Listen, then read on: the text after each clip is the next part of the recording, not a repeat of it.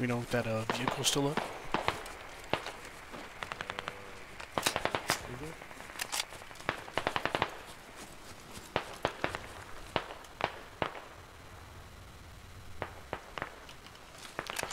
Russians right here. 30. Just to let you know, no one.